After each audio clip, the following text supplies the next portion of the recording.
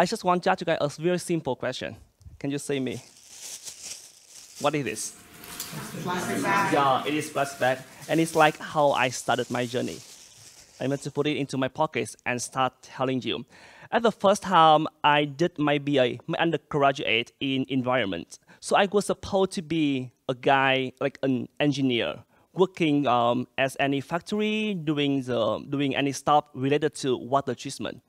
But like after working there, I was working there for a month, two months, and three months, and I realized, oh, it wasn't my thing. Something went so wrong here. I still love environment, but I like something that's different. And then I went to Thailand to do my uh, volunteer teaching into two months, and I found out, oh, education is my thing forever. It's like how I started my journey. So I know the knowledge about environment for four years studying in my university in Vietnam, but I love education. So how I can do a combination between, uh, between environment and education. So I did environmental project. Uh, and then I got like uh, some offer to go abroad, especially I work in Nepal. I, I was a plastic teacher. You can see like a guy from Vietnam went to Nepal Nepal is underdeveloped country, so I was living and teaching with the orphan at the orphanage for three months. And then when I started my, my, my lesson about plastic, and then I, I, tell, I tell people so many things, and all the thing I got back from them is, it's just a plastic. So, so I told them, it's just not a plastic, it's a plastic. Basically, so how harmful plastic could be, and um, what we should deal with what we should deal with this. And then I, I knew that the power of education and how powerful it is. With education, I can make people realize because you don't know what you don't know. And then after the, after the journey, when I uh, started my, my teaching plastic, um, the journey about teaching plastic, you can see at the picture when I smile with the children in Nepal, and one more is a workshop I did in um, Sumedang area in Indonesia. I tell people about how you can reduce, recycle, and uh, refuse to use plastic. So it's all about how I started my journey. It's just a little bit about myself. Now, uh, about my experience and my journey with Leeds Beckett. I was um, a master student in education in 2020, and now I am doing my second master in communication and uh, public relation, also in uh, at Leeds as well. And besides, um, I'm, I, I, I'm, I'm working as a communication coordinator uh, at a university in London. And uh, it's all about, a little bit about myself before getting about my research. So if you know about my research, you, you should know about a little bit about the motivation. I love I love environmental, I love environment, I love education, but you must put myself in the context of Vietnam. Vietnam is on top 10 of the country release the biggest waste into the ocean every year until now. So it's kind of the thing like motivated me to do my job. So it is like my uh, research I did uh, for my MA in education I at Leeds Beckett University two years ago in the context of the pandemic. So it's all about enhancing uh, ecological literacy and environmental education for students, but outside of class. And uh, at that time, I did the research for 400 students.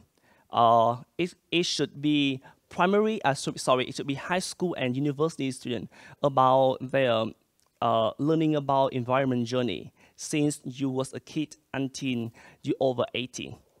So the research question uh, for, my, for, for, for my study about two things. The first one, finds a way how to increase environmental awareness, but out of the class.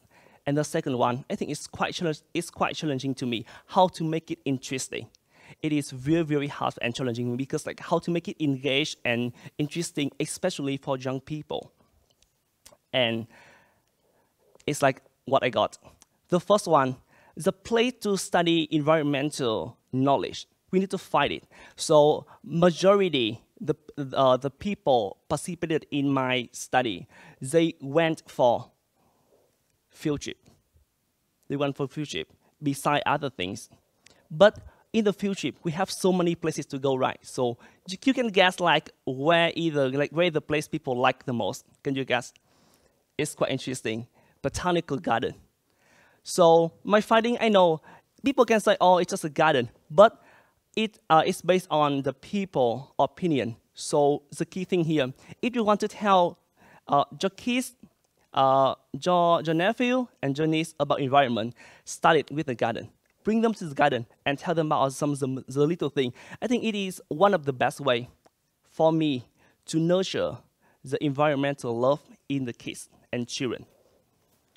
Uh, and then at you know in 2020, we all need to cope with COVID, the yeah the pandemic. So how we can maintain the way we learn about we learn about the green content about the green lesson when it's just at home. So I, I, I did a research to ask the people about their interest from level one, the lowest, and level four, the highest, about the interest of people with virtual field trip. And surprisingly, I can have mostly people rank it at level three. So it's really good sign for us, even we are in the, in the room, we are disconnected with, with people, but we still have the connection with environment. And then now things changed no more lockdown. We are, I think, so much happier, right? And then, but now I just question myself one one question to lead me to my second research. So, but I cannot like be the person who can, if, if I go to the class, one day the people I can reach maybe just 40 people, but how I can make it more, more and more. And now we all living in the era of social media. We have Facebook, we have Instagram, we have Twitter. We have a thousand of the platforms that we can connect to people and spread out the green content. So it is a research I did over 100 participants, but they all over 18, from 18 to 30, like the young, the young generation, I can guess. And then I can, I found out three platforms people just and prefer to receive the green, the green content. So first and foremost, it's gonna be TikTok. Everyone, you know, surfing TikTok now. Even now, I can dance with some song, you know, on the TikTok. It's, it's easily to go viral. Second one, Instagram. And last but not least, Facebook. So what is the element and the factor that we all care about the green content on social media? So people said that in my, in my study, it must be practical, easy to apply. It's to be the key thing.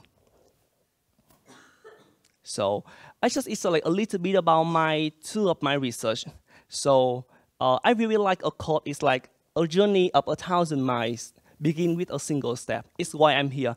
I, I, I start with nothing, with just like a little boy in Vietnam growing up with no English. And since like I started studying English since um, when I was 18 years old.